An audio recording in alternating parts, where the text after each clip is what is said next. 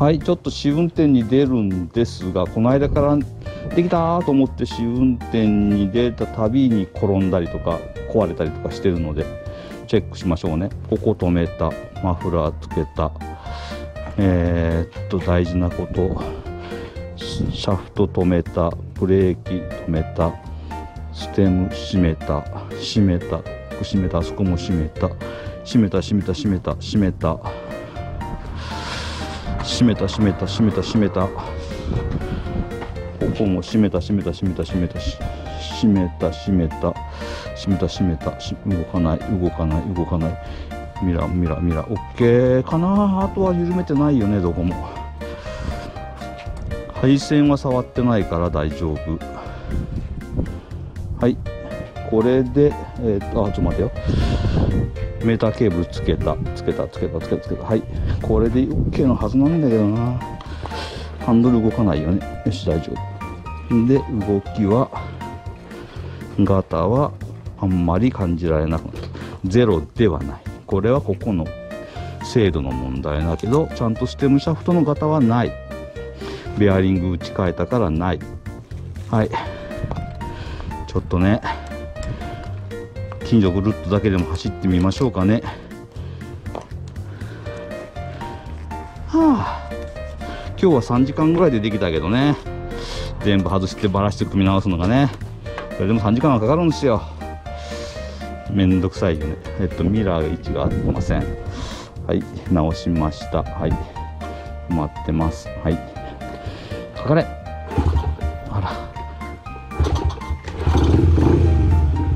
さい。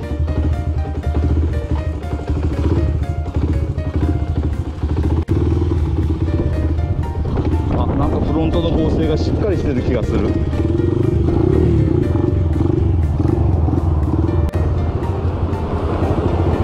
えっ、ー、とね前回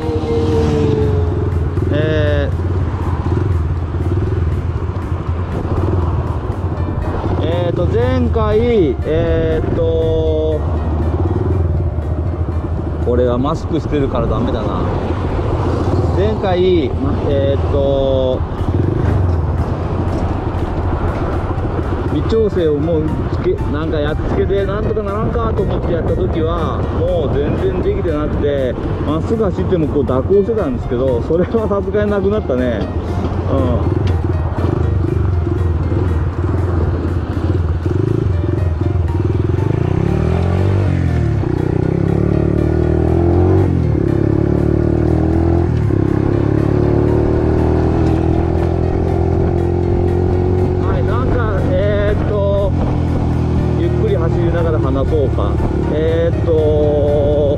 直進安定性はちゃんとまともに戻りました。はい。でブレーキかけた時のガタガクンっていうのを感じなくなりました。はい、えーなのでこれに関してはベアリングの受けを打ち直したのが良かったんだと思います。だからやっぱりノーマルのベアリングとえーっとミニモトさんのベアリングの規格がちょっと微妙にずれてたような気がします。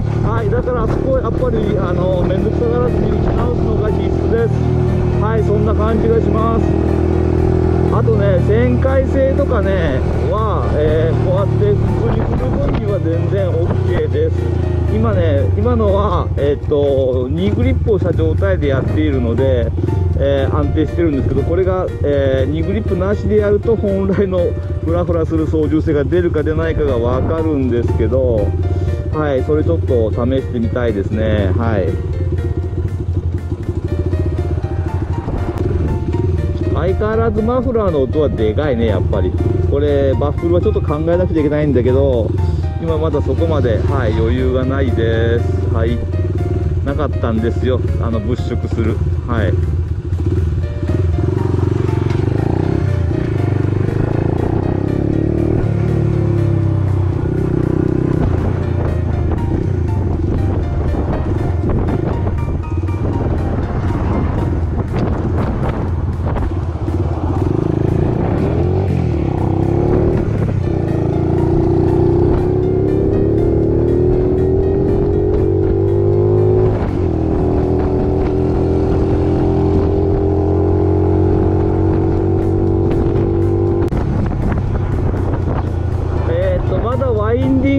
走ってないけど船船道とかは。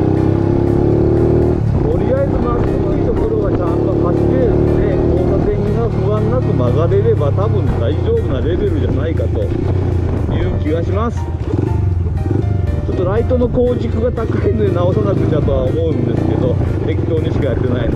はいいいだけだと思います。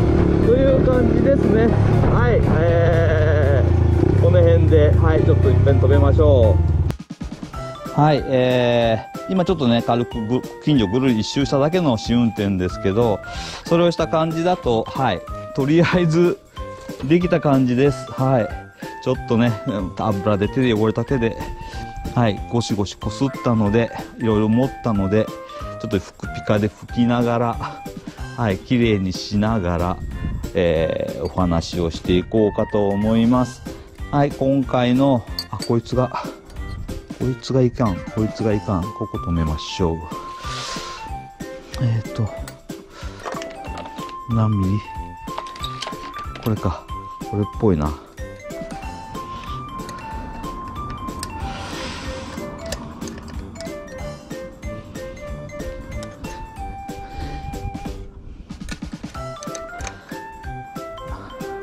はいやっぱしネジ締め忘れたとこがありましたね。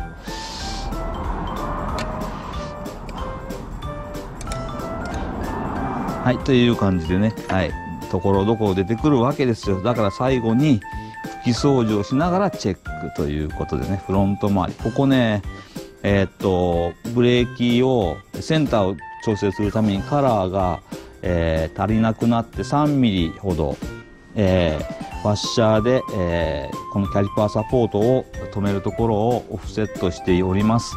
はい、こっちちょっとネジがなかったんで、その、合うネジが、ここにモルトかませてちょっと長さ調節してますが、えー、っと、はい、ここね、こんな感じ、見えるかな？かなり厳しいけど、見えるかなこんな感じ、ボルト飛び出してますけど、はい、もうギリギリディスクに当たらないところなので、よしとしましょう。という感じですね。はい。そこが1点。で、ここは、えー、こんこれね、ここら辺のね、ガタ新品のホイールなのにガタガタになってるのは、ここのハブね。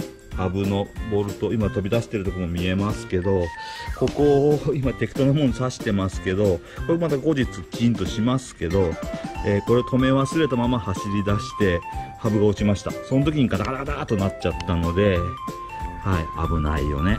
えー、っと、加工したものは、えー、っと、ここ、え、っと、メタギアですね。メタギアの中のカラーを5ミリ削って、こっち側の外側の何ミリかな ?3 ミリ、4ミリ飛ばしたところを削ってフラットにしました。はい。そうしないとセンターが出ないというね。はい。えー、浮き目に合っておりました。はい。それがまず1個。えー、っと、そして、トラブルの大きな原因はこのステムステムシャフトの、えー、ていうの、ベアリングの受け側ですね。受けの打ち直しをせずにそのまんま元々のものを流用したらベアリングとの相性が悪くてガタガタだったということですね。今日それ打ち直しました。えっ、と指を叩いて指が ちょっとここ爪の中黒くなってやっちゃったよまたみたいな感じですけど。はい。そうですね。はい。あそうだそうだ。ライトの向きを直さなくちゃちょっと待ってください。はいえー、とそしてまあ、そういうことがあって今ライトの向きは調整しました。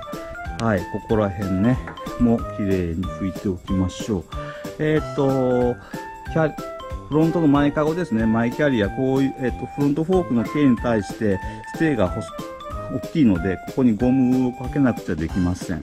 で、えっ、と、ここにもう、ウィンカーステイがないので、ここ、本来は確か何だったっけ？リフレクターってなんかつけるとこ？だと思うんですけど、はい。そちらに、えー、無理やり取り付けています。はい。エンジン周り、ここはね、横着してやったからガリガリになっちゃったよ。すげえショックですよ。ショックショック後ろ回りは何もいじってないので今日はねはいこの辺だけですね、はい、メーター周りはいでここは、えー、っとこういう、えー、結束バンドでハンドルと引っ張らないとこいつがね蝶つがみたいになってるのでガタがあるんですよはいあのこのハンドルえっとなんだっけライトステンあるので、えー、ガタをなくすために、えー、釣ってます。あの、結束バンドで。はい。で、えー、っと、スタイリングダンパーもそのまんま、はい。こことの隙間につけました。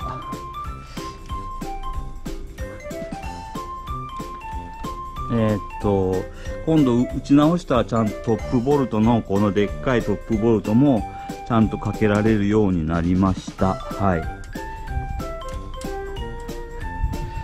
で、えー、今回はブレーキが右側にアイネットのブレーキは左だったんですけど右元のディスクは右側に来るので、えー、すごく良かったですただし、えー、ここ、え逆ネジのアダプターが必要になるなったのでこれは二輪館に買いに行きましたでこの辺のねラムマウントとかのステーもそのまま前と同じ変わってません内カゴも変わってませんあとえー、っとマフラーね。マフラーは、あっち。そうか、今乗ってきたんだった。